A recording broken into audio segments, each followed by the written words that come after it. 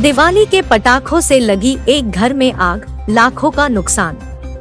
कित्तूर शहर के चन्नम्मा सर्कल के करीब मौजूद एक घर में दिवाली के पटाखे उड़ाने के दौरान लगी आग। 24 अक्टूबर शाम करीब 7 से 8 बजे की बीच हुआ ये हादसा।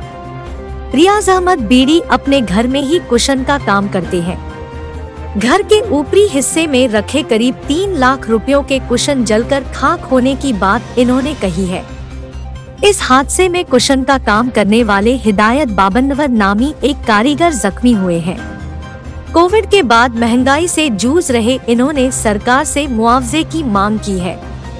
बेलगाम एक्सप्रेस के लिए कित्तूर से आकीब होनापुर की रिपोर्ट। ಇಲ್ಲ ಬಾಜು ಅಂಗಡಿಯವರು ಪಟಾಕ್ಷಿ ಹಚ್ಚಿದ್ರು ದೀಪಾವಳಿ ಹಬ್ಬ ಹಬ್ಬದ ಸಲಾಗೆ ಅದು ಏನ್ ಕಿಡಿಯವ್ರ ಹತ್ತಿಕ್ಯಾರ ನಾವು ರೆಡಿ ಮಾಡಿ ಮಾಡಿ ಇಟ್ಟಿದ್ದ ಕುಶನ್ ಕಂಪ್ಲೀಟ್ ಮಾಲ.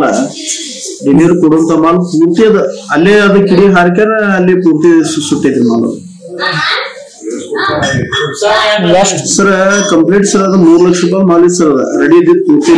ಪಾರ್ಟಿಗಳು ಕೊಡುವಂತ ಮಾಲ್ ಅದು. ಪೂರ್ತಿ ಅದ್ ಮಾಲ್ ಏನೇನು ಉಳಿದಲ್ರಿ ಪೂರ್ತಿ ಅದ್ ಮಾಲ್ ಸುಟ್ಬಿಟ್ಟಿದ್ರು ನಾನು ಅಂಗಡಿ ಬಂದ್ ಮಾಡ್ಕೊಂಡ್ರೆ ಬಂದಿಲ್ಲ ಸರ್ ಅವಾಗ ಹಂಗ ಆದ್ರ ಅದು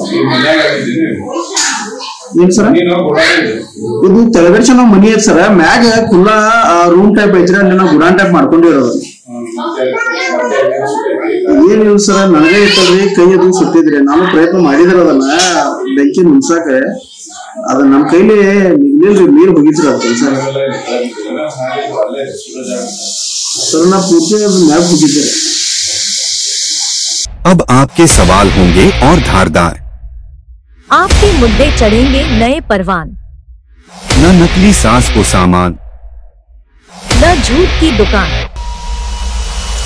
खबरों में सच दिखाना ही है हमारी पहचान हम है बेलगाम एक्सप्रेस कलम हमारी आवाज आपकी